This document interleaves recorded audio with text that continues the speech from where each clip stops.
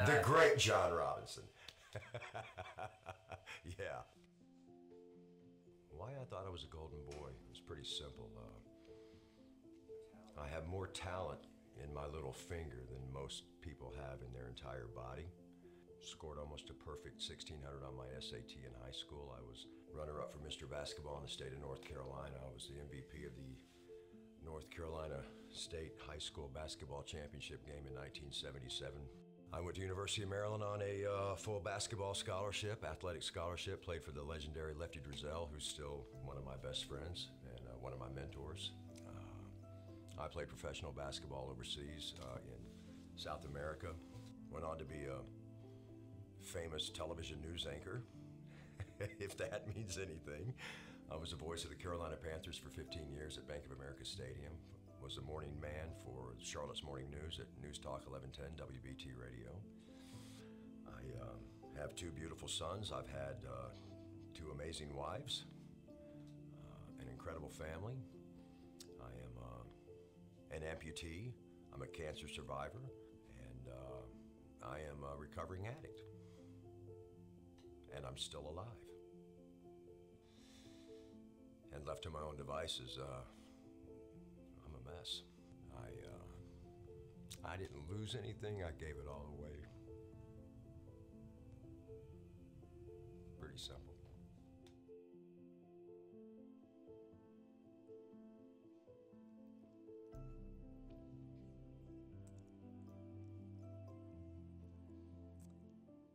So, so that's part of John's story. And next week you get to hear the rest of it. And we encourage you to invite people that are close to you that are in tension. They're stressed out. They're in transition. They're going from one place to another in their life, which always causes stress, and they're in trouble. Certainly, he's been that way. One of the great things that we've been talking about in, during this whole series is that God uses imperfect people to do his perfect plan. Now, one of the things that I think about when I listen to John talk is God, why didn't you give me that voice? And I could have really been a preacher. Wow, what a great voice, right? Today, I want to introduce you to another imperfect person. Thank you, other people are coming in. If you just make room for them as they come in and make them feel welcome. I want to introduce you to my old friend David. He is the shepherd boy who killed the giant Goliath, who became the, the king of Israel and then a very imperfect father and someone who succumbed or gave into lust at a moment of weakness with a woman named Bathsheba. As a matter of fact, when you think about David, David is always paired with one of two people. Okay, the first one is David and, right? And the second one is ba- David and, that's right, that's my Bathsheba imitation, right? I can't be more suggestive than that. I don't look anything like her. So here's the thing I want to share with you today. Over the next 22 minutes or so, we're going to talk about my old friend David. I wish there was time for me to share with you what you can learn every day from the scriptures about what David has had to say to us. As a matter of fact, most of the Psalms, which is just a word for songs, is from the Bible. And, and if you're afraid, you could read these words in another place in the Psalms When I'm afraid, I will trust in you. If you are somebody that needs forgiveness, you could read, Create in me a clean heart and renew a right spirit within me. When, when you can't sleep at night, you can say, I'll both lay down and sleep in peace, for you alone, O Lord, make me dwell in safety. If you need to forgive someone else, you say, Forgive others even as you've forgiven me. If you need guidance, you would understand that He has written already, and He sang a song. There were, there were musical notes to it. Your word is a lamp to my feet, and it's a light to my path. Oh, I wish I had time to talk to you more about David and what else he has to say. But today we're going to go to a very familiar passage. You ever been afraid? You ever been desperate for God? These are the, the words of the very same man who said, As a deer pants for the water brook, so my soul pants after you. My soul pants after you, the God, the, the living God. Are you desperate for him today? This world is filled with people that are desperate. And not even for those of us who are familiar with him and know about him. There are desperate people in Egypt because they lost their lives and families' lives last night. There are desperate people in Syria and all over this world, and there are desperate people literally 50 yards on this side of this wall who live in desperation. Are we paying attention? This has to do today with, with both you and it has to do also with others. It has to do with me and it has to do with others. And today we're going to dive in and talk about what David wants us to understand. Here's the first thing that you and I need to do today as we seek to get God's heart. And if there was ever an imperfect person, David was that imperfect person. And yet, God called him a man after his own heart, that God went seeking after him through the prophet Samuel. He goes into this family, and, and this family basically trots out all the different boys in the family, thinking that they might be the next king. And they're like, Isn't there anybody else? And oh, there's David. He's out carrying the sheep and just caring for them. He was even overlooked. When the person came to say, You're going to be the next king, here's the first thing we need to see today. We need to understand that God wants me, God wants you, God wants us to pursue Him. To pursue Him. He is the good shepherd, the, the good shepherd who laid down his life for the sheep, for you and for me.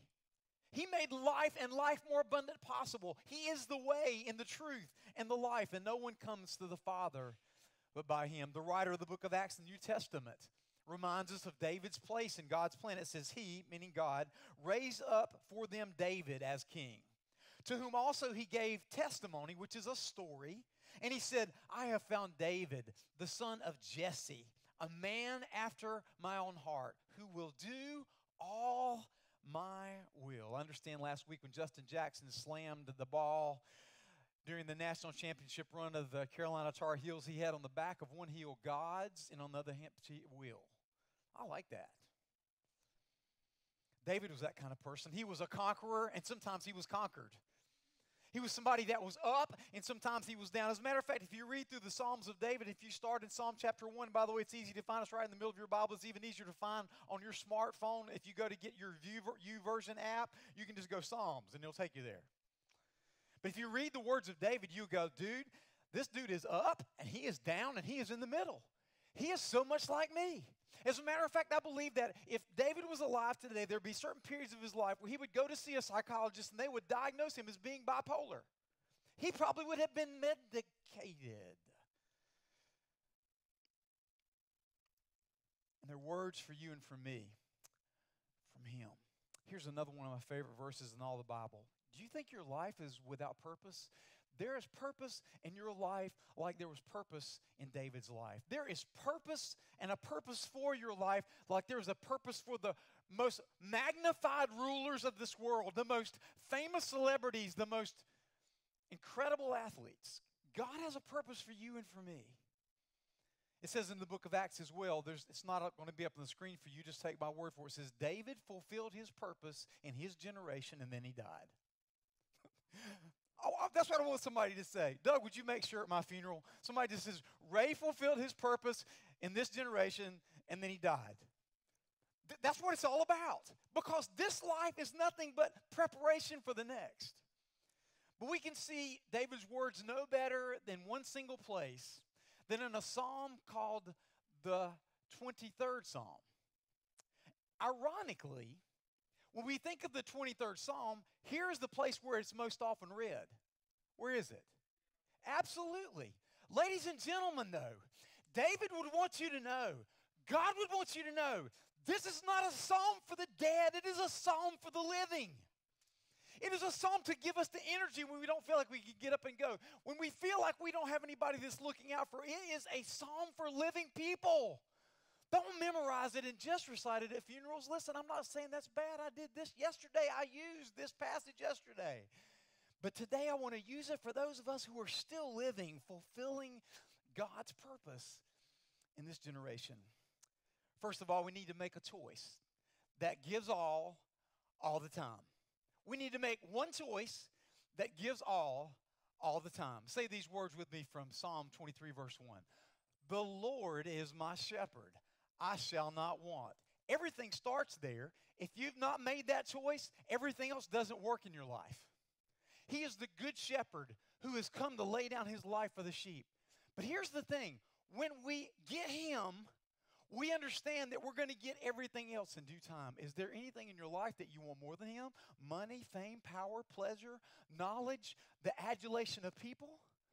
Or do you want Him right now. For those of you that don't have Him, and you know that that's the story of your life, you've tried everything else, but nothing else has worked. Let me offer you Christ. Would you bow your heads and close your eyes? Heavenly Father, I pray for these here today, and you're calling out to their heart right now. And they have played around with you and played around with life. And today, if you're out there, I want to invite you to say these words with me out loud, move your lips, echo them through the, the cauldrons of your heart up into the, the light of heaven. Say, Dear God, I've made everything but you, God. And nothing has worked. I repent and I turn toward you. Please forgive me. Help me to follow you. You are my shepherd. Amen. I want to invite you today, if you made that profession of faith, to walk outside after the service is over in 45 minutes or so, 30, 30 minutes or so, excuse me, and I want you to meet me outside. I want to meet you and welcome into God's family, but we continue. Next, we need to relax since He guides me. When a shepherd takes care of sheep, he, he makes them able to relax. You know why? Because they can hear his voice and, and they know his voice and they know his presence. It says that he makes me to lie down in green pastures. He leads me beside the still waters. Relax. Take a breath. He's there to guide you. He leads you in the right path. You, you know, sheep can't lie down if there's tension between them. That's why you can't sleep at night sometimes, because there's something between you and somebody else. But he makes sure the sheep reconcile and get along together so they can lay down. Sheep won't also lie down if they're hungry. He makes sure that they're fed. They also won't lie down if they're scared. So sometimes the Good Shepherd, the God of this universe, your God and my God, if you have chosen Him, will make you lie down by feeding you taking away the tensions between you and others and making you do the hard work to make things right with others, and pro- protecting you your life from predators that seek to kill and steal and destroy and to wipe you out. Do you ever get scared? Do you ever get hungry? Do you ever feel like nobody's there? He promises that He is there. And because of that, you have no wants. And you know, when you got Jesus, you got everything. Somebody said it this way You know what? You never know that Jesus is all you need until Jesus is all you got.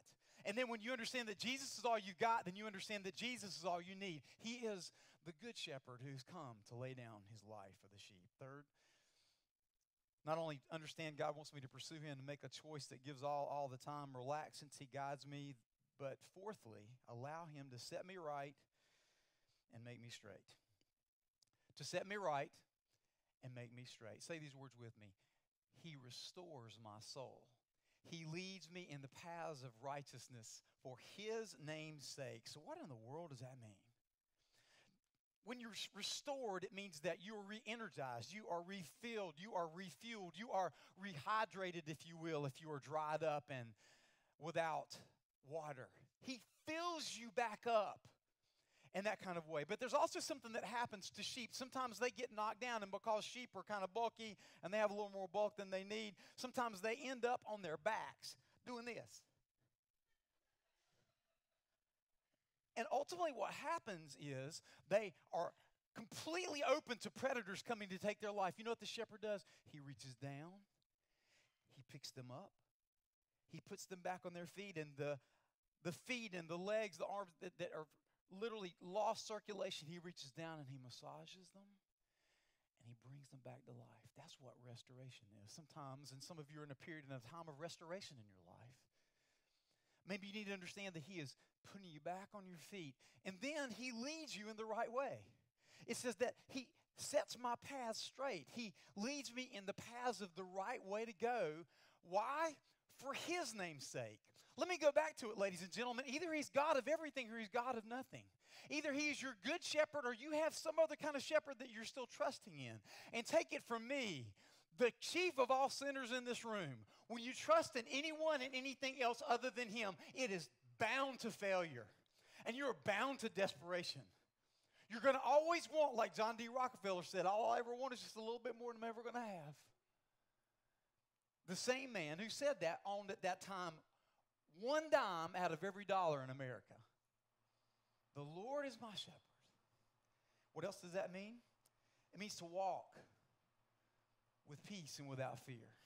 It means I can understand that I, I can walk with peace and without fear. Say these words with me. Yea, though I walk through the valley of the shadow of death, I will fear no evil. There's a whole bunch of stuff, and I wish there was time to unpack all of it. But there's a valley of the shadow of death. The mountain of death or the circumstances of life sometimes loom over you so that you feel like they're greater than anyone or anything, even Him. But you know what causes the shadow? The light shining over the great obstacle in your life causes the shadow. So when you're walking through the valley, you're walking through that valley. You're not staying in that valley.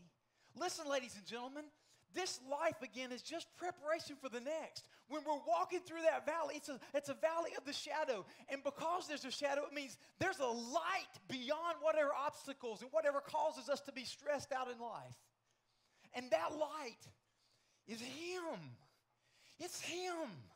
In the midst of your job change, in the midst of your marital stress, in the midst of your financial distress, in the, He is there. He's saying, There, there. My mind went back to, to Babe, the movie about the little pig that we saw years ago when my kids were little, back when the dinosaurs were on the earth and the pterodactyls were flying in the sky.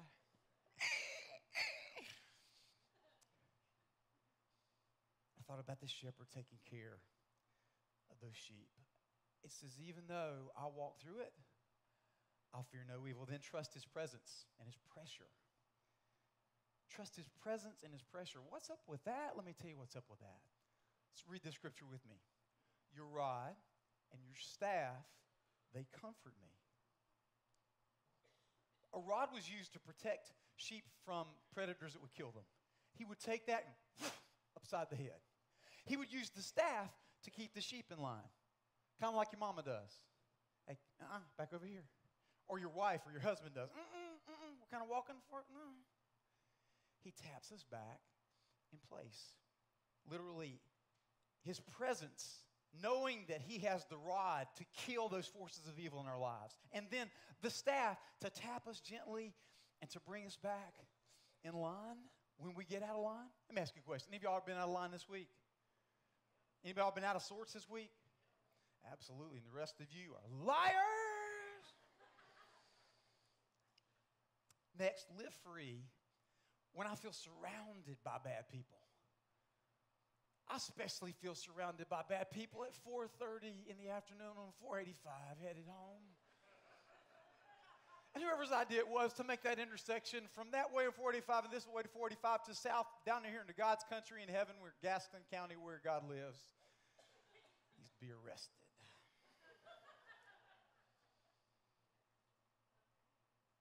You prepare a table before me in the presence of my enemies.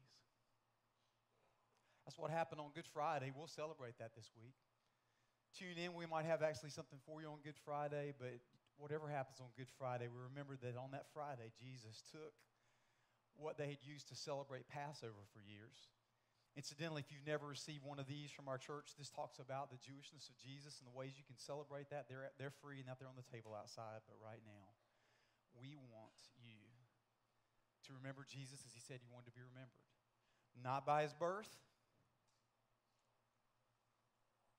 but by the body and the blood of Christ sacrificed for you and for me. If you did not receive communion elements, would you please raise your hand? The folks in the back can grab you some. I see some people up here that did not receive them. Would you just keep your hand up? And as they're preparing to distribute this to you, just keep your hands up high so they can see you. On the night before he's betrayed, he, he said something that they had celebrated for years in Passover, literally when, when God put, had them put blood over the doorposts of their house and that they ate unleavened bread because they were in a hurry to leave Egypt. They'd been in slavery for 400 plus years and God's about to lead them out. Well, now something they had been celebrating for thousands of years was now going to undertake a whole new meaning because the Passover was going to happen this night, and God was going to sacrifice his son on the cross the next day. As a perfect, sinless sacrifice, so you don't have to be good enough because he's already been good enough for you. And now, because he's been good to us, we get to be good to others. And the night he was betrayed, he took the bread. If you'll peel the top off and you take this little wafer, he said, This is my body which is given for you. Eat you all of it.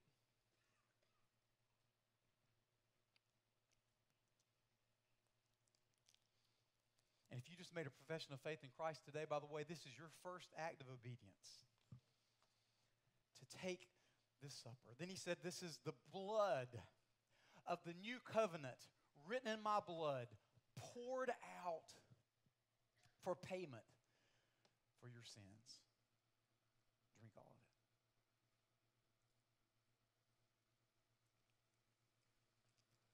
Thank you, Good Shepherd. Thank you, Jesus.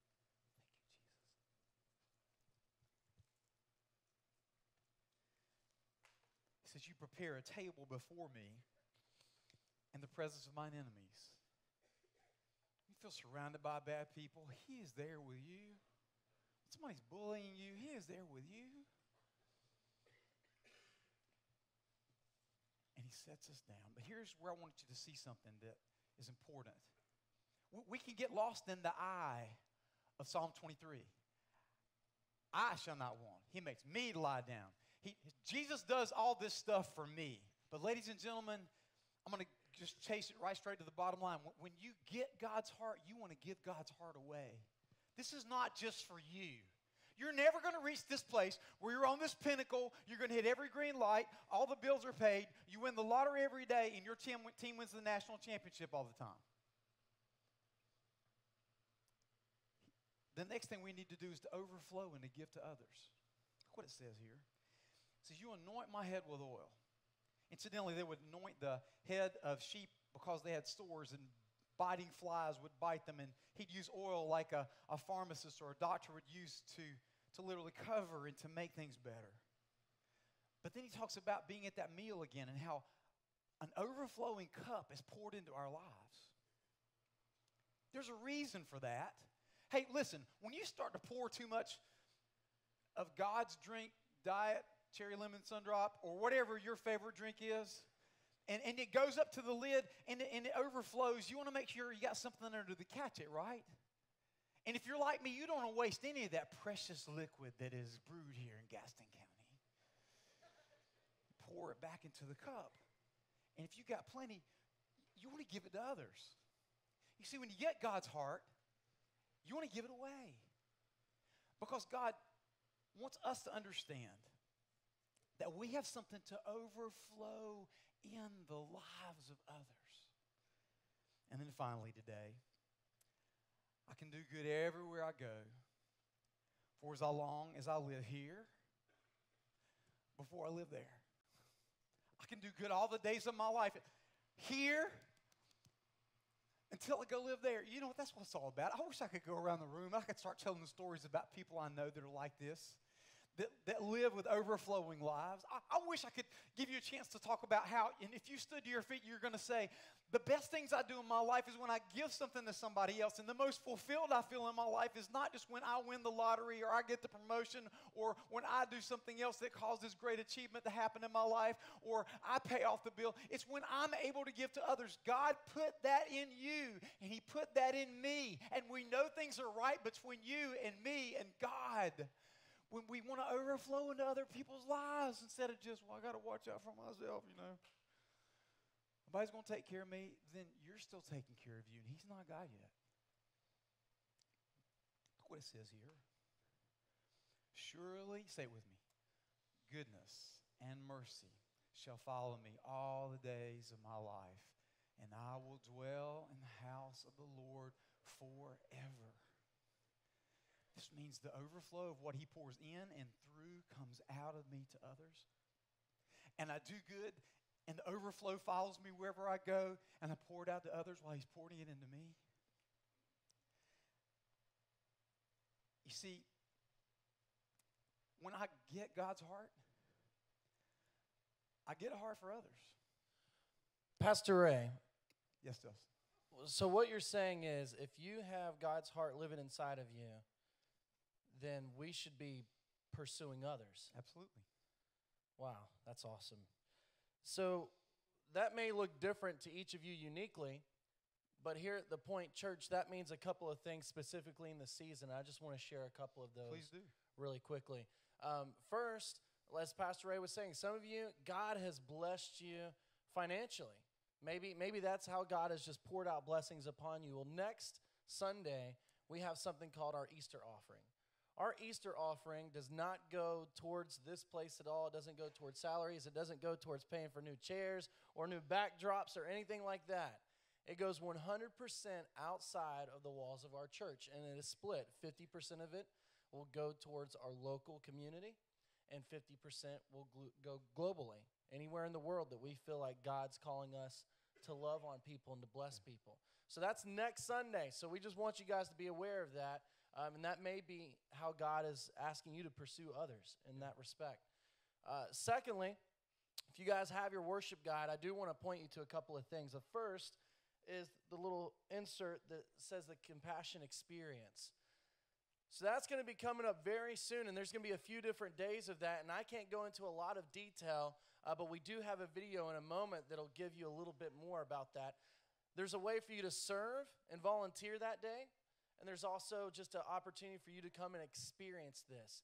Uh, Compassion's going to bring in a trailer on our grounds in the parking lot. They're going to open it up, and this thing is like a transformer. It like grows and you have the opportunity to walk in and you experience a couple of kids' stories, their life, what they went through, who were sponsored. And who knows, maybe you go through it and God puts on your heart, you know what, that's you're going to pursue one of those kids.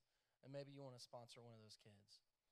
And then finally, the other thing that's uh, happening locally, uh, compassion's more on a global level, but locally, is the Convoy of Hope. And there's an insert in your worship guide for that as well. So, this again, we've got a little video clip we're going to show you because they've done a much better job at explaining what this is than I could. But this is a one big day event for our local, local families, uh, vulnerable children and families, people that are in need. And there's so many different organizations that are partnering with this and different booths, so to speak. Families can go and get groceries for free. Families can go in and kids, every kid that goes that day will get a new pair of shoes. And so you have an opportunity. All the information's on the insert how you can sign up and get involved that day. But this video is going to give you guys a little bit more detail on the compassion experience and the convoy of hope.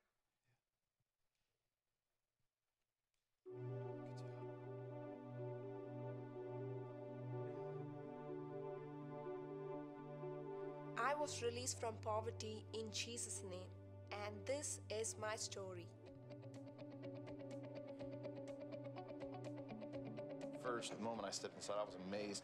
It's basically this progression through this child's life. It takes you there. You get transported to another country and you get to live that child's story. Mama has always worked whatever job she can find, but there is never enough money. I think hearing the sound of her voice, hearing her talk about her story, When I went through my own story, I was literally crying.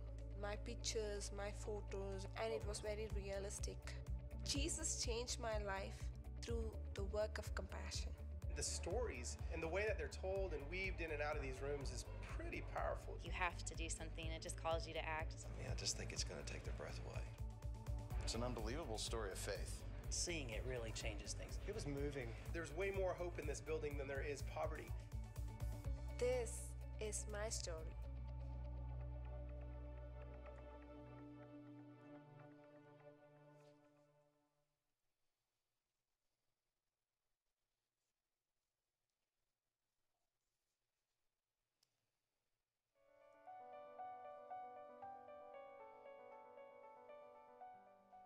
What if you truly believed that you could change your city? Not the structures, the roads, or the traffic, but the people. What would you do? When you'd look around you, would you begin to see potential instead of poverty?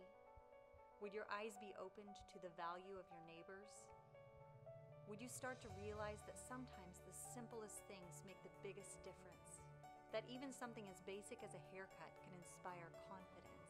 Or that a new pair of shoes can not only change the way people walk, but the way they carry themselves. And would you begin to believe that providing health exams does more than just bring peace of mind, but has the ability to change hearts as well, or that giving a child reason to smile can brighten their entire existence? And what if you believe that offering someone something as simple as a bag of groceries could be the one thing that brings hope to everything? I came to the Convoy of Hope outreach today for the services offered because they're needed and helpful at the moment. Very helpful. Everybody's constantly making sure that we have what we need and if we need help finding anything and there's just lots of people to help you. It's given us hope today. That's the hope we needed. yeah, definitely. By giving back to your community, you'll play a part in changing the lives of families and giving them the hope they need. By coming together as friends and neighbors to pray, to give, and to volunteer, we'll transform lives. Hope starts here.